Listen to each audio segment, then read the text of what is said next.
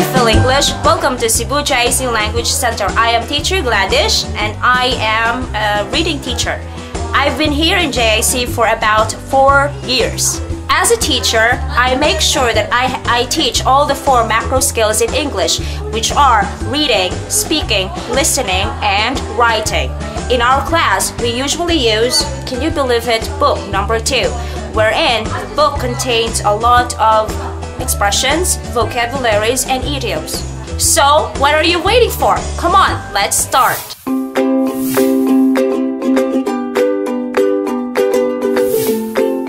Hello, Edgar. So, our lesson for today is about the gorilla who lends a helping hand.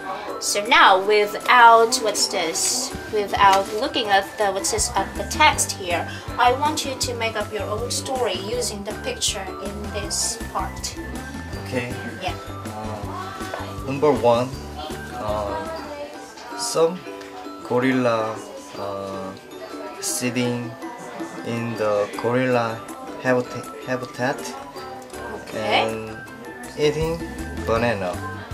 Yeah. And number two, uh, maybe a little boy and his mother uh, are watching the gorillas.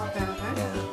And then number three, a little boy climb, climbing, uh, Climbs. uh, climbs the stone wall.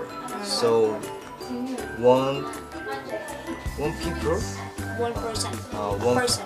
one person uh, shouted, "Look out!" Yeah. And number four, oh maybe uh, it was late. So number four, uh, a little boy fell down, and then the gorilla uh, approached to a little boy. And number five, uh, the gorilla pick up the little boy. And number six, his mother uh, maybe very surprised. Yeah, his mother was surprised. And what did the mother say? the mother said, uh, "The gorillas got my baby." Uh-huh. Oh my god.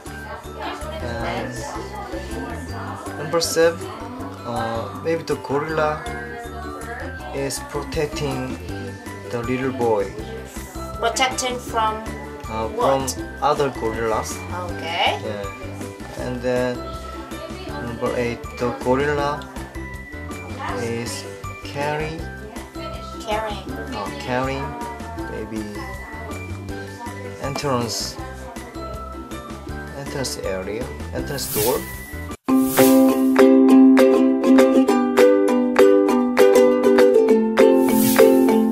Here in Cebu JIC Language Center, we do not only teach, but we also inspire students.